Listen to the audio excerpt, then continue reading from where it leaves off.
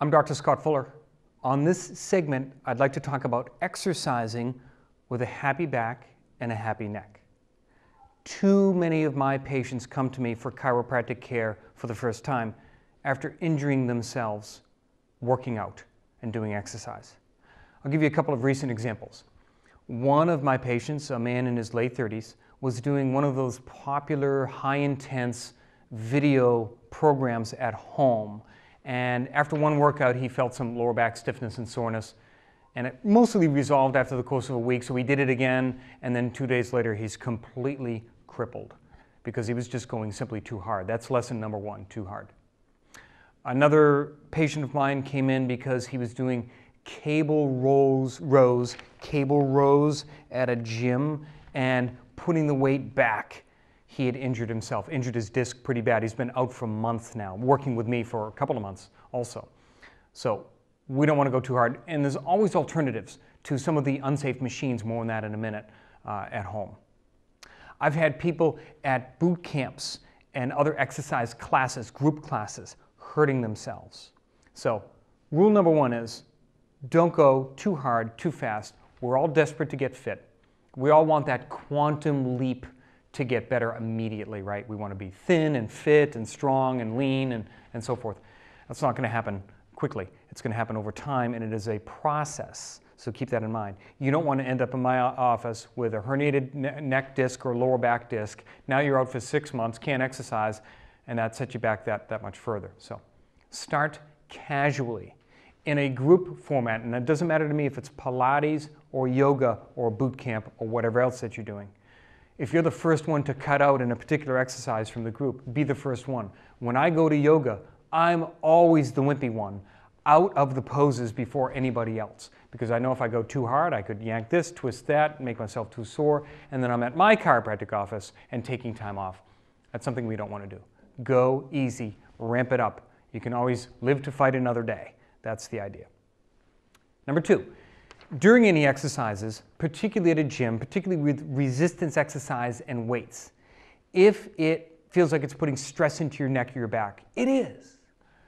Ease off, change your, change your routine, modify that particular exercise, drop the weight, or just completely find something else. Going back to that young man that was doing the cable rows, okay? Now that's the machine that you're sitting at at the gym, your legs are out in front of you, and the rowing part of the machine is attached to a cable and a stack of weights. You know what I'm talking about. So the cable row. The danger with that machine is usually not doing the exercise. This part is usually okay unless you're using too much weight. The problem with that machine is what do you do with the weight when you're done? You have to reach really far over, putting it down, or when you're grabbing it initially, you have to reach really far over to uh, pull it into position. I've had several people over the years hurt themselves getting in and out of the cable row machine. So be careful doing that. Other exercises, I had a patient who had never deadlifted before, and he starts doing a deadlift, and he blows out his disc in his lower back, and he's out for six months. He's not working. Okay, he, excuse me, he's working but not working out. And it took us about three months to put him back together again in my chiropractic office. So if you're doing something new for the first time, how about do this? And a lot of the trainers that I know, and a lot of the class leaders and boot camp leaders that I know, they're very careful to tell people go slow, go easy, go light. For some people, you just do the motion, and a lot of these new gyms now, they have plastic bars to start with, or wooden bars, almost like a broomstick.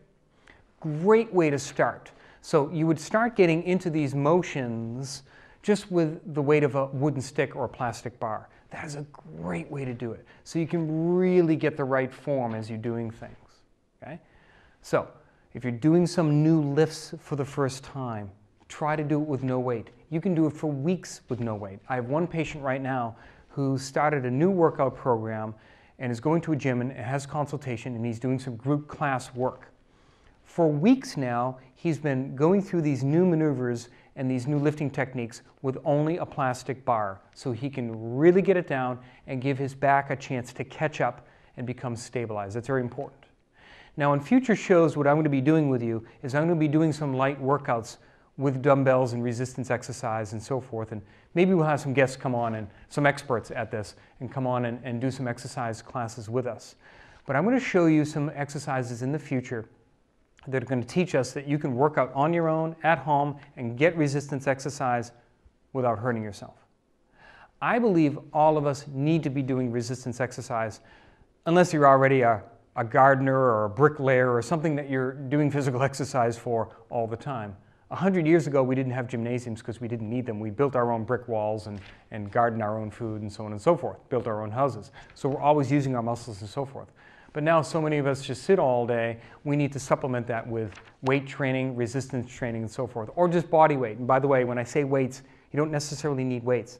Oftentimes it's just your body weight and some resistance and bands and so forth. We'll get into that later on in some, some future shows.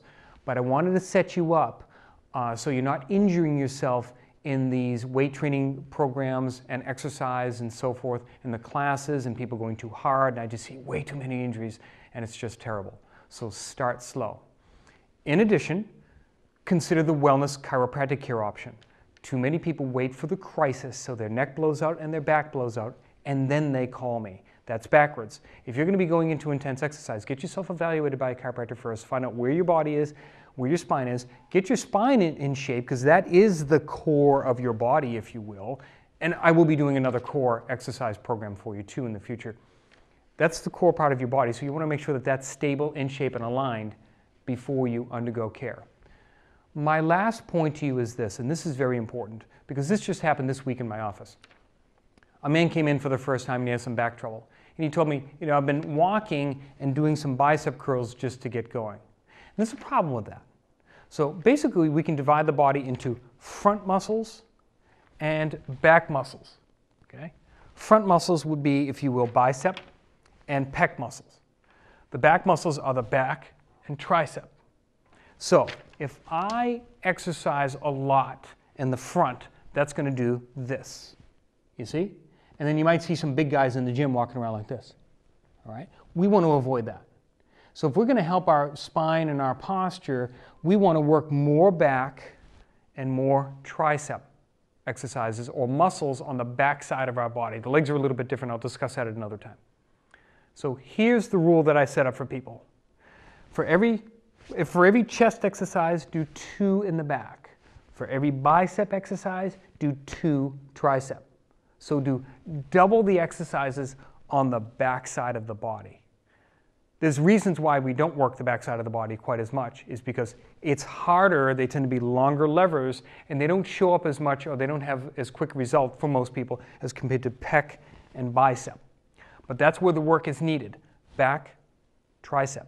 I recommend two to one, unless of course you're going to be a, a trainer or a bodybuilder or whatever, you need to have more balance. But for the rest of us, for spinal longevity and longevity of our body and brain and an upright posture, do twice as much back as pec, do twice as much tricep as bicep. And that is very important moving forward to keep ourselves healthy and to make sure that resistance exercise remains a part of our life, just like it did for Jack LaLanne all the way up until age 96. I'm Dr. Scott Fuller. Please join me again.